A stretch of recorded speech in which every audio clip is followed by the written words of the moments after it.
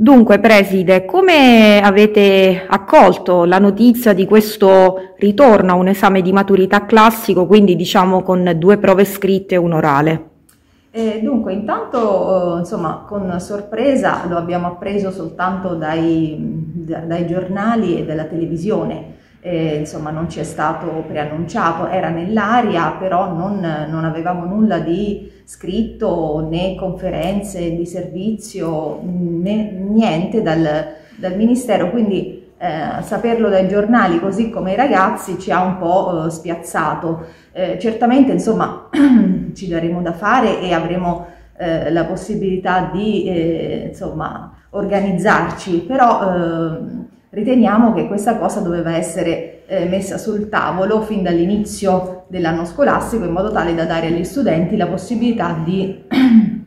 prepararsi adeguatamente alle due prove scritte, quindi sia quella di italiano che probabilmente sarà di carattere nazionale. Il primo approccio alla notizia è stato quello di sorpresa, perché dopo diciamo, le prime eh, diciamo, dichiarazioni del governo ufficiali sono state quelle che non ci sarebbero state prove e che la modalità sarebbe stata analoga a quella degli scorsi anni. Dopodiché è trapelata la notizia dell'introduzione del tema di maturità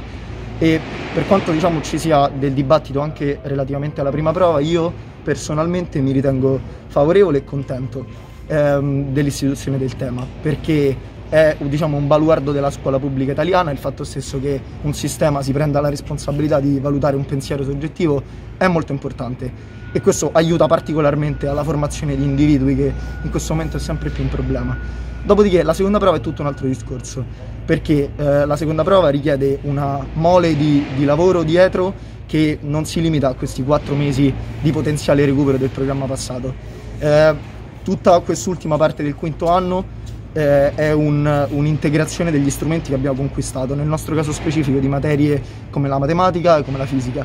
che sono indubbiamente penalizzate nel momento in cui vengono fatti due anni in didattica a distanza. Quindi sulla seconda prova io credo che mh, mm, diciamo, non sia possibile, soprattutto nella modalità in cui è stata immaginata. Come avete accolto diciamo, la notizia di questo ritorno all'esame classico di maturità?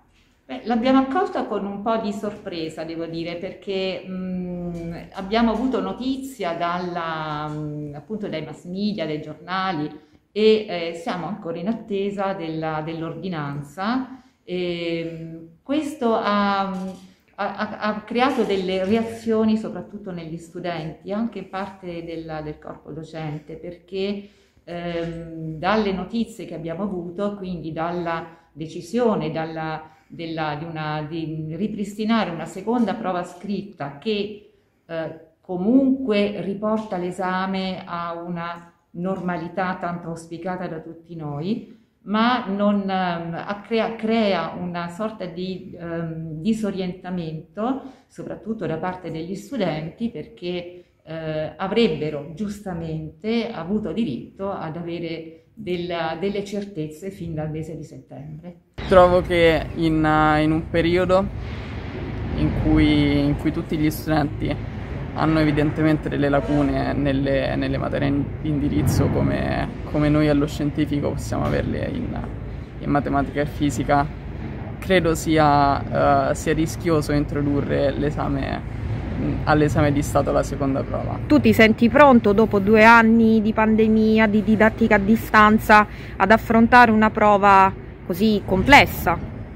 Allora, sicuramente, sicuramente non mi sento sicuro come mi, sentito, come mi sarei sentito se non ci fosse stata la pandemia e la didattica a distanza e tutto ciò che la pandemia ha comportato. Da un altro lato eh, mi rendo conto che il fatto che la seconda prova sia prodotta da commissioni interne alle scuole sia da un, certo, da, da un certo punto di vista un vantaggio per gli studenti perché la prova può essere più semplice perché, eh, perché si tiene conto di quelle che sono state le mancanze eh, della didattica dei, non dei singoli studenti ma delle singole classi o almeno dei, dei singoli istituti. Preside, come si sta organizzando il suo liceo nel momento in cui è venuta a conoscenza diciamo, dell'introduzione della seconda prova? Diciamo che siamo ancora ecco, nel momento di assimilazione della notizia. Era abbastanza chiaro di ritrovare la, la prima prova scritta, quindi a me su questo ci si stava già preparando. Adesso la novità è stata quella della seconda con questa formulazione diciamo un po' particolare per cui va predisposta dalla scuola quindi adesso eh, la riflessione che porteremo avanti da adesso in avanti sarà quella proprio di come formulare questa seconda prova restiamo prima in attesa della definizione di questa, eh, di questa tipologia d'esame perché sappiamo ancora non essere ordinanza, però il pensiero ecco, si sta un po' concentrando su, su questa seconda prova che ecco, non, era, non era attesa in qualche modo. L'altro aspetto ecco, rispetto agli studenti che mi sento di dire è che in ogni caso si terrà conto di questi anni di pandemia. Sappiamo bene che il triennio dei, dei maturandi di quest'anno è stato un triennio compromesso da, da, quello che abbiamo vissuto, quindi tutte le commissioni, ma come è avvenuto già nei due anni scorsi, terranno in massima considerazione quanto, quanto vissuto dai ragazzi. Se mm, il ministro Bianchi ti stesse ascoltando, che cosa gli diresti? Beh, forse chiederei una valutazione un po' più attenta di quella che è la situazione scolastica, comunque un, un ascolto maggiore degli studenti e eh, non un'agevolazione perché sarebbe sbagliato chiedere un'agevolazione perché comunque è anche giusto che eh, l'esame di maturità si faccia e comunque ci sia una prova che determini quello che è il percorso scolastico degli studenti, però magari una maggiore attenzione a quelli che sono state, quello che è stato il percorso condizionato da tutta la situazione Covid, da tutte quante le varie quarantene che sono state fatte. E comunque è evidente che delle penalità No, i, nostri, i, giovani della nostra età, quelli della nostra maturità, le hanno subite per, eh, dopo tutta la situazione Covid, quindi valutare anche questo. Beh, che più che un'introduzione diciamo che è una reintroduzione e soprattutto che poteva essere gestito meglio quantomeno il modo di comunicazione. Infatti cioè, è stato comunicato al primo di febbraio e non è ancora una cosa ufficiale, sono solo delle descrizioni di Repubblica e mentre è tutto quanto l'anno che il ministro Bianchi eh, gioca un po' a nascondino con gli studenti, non, prima parlando di solo orali, poi parlando di forse delle prove scritte e non lasciando mai trapelare qualcosa che per noi invece è fondamentale, anche dopo tre anni di DAD bisognerebbe se non altro iniziare a riabituarci a una scuola che un po' si è persa, che poi era il motivo per cui negli anni scorsi è stata introdotta solo la prova orale. Sarai in piazza a manifestare contro questo nuovo provvedimento? Sì.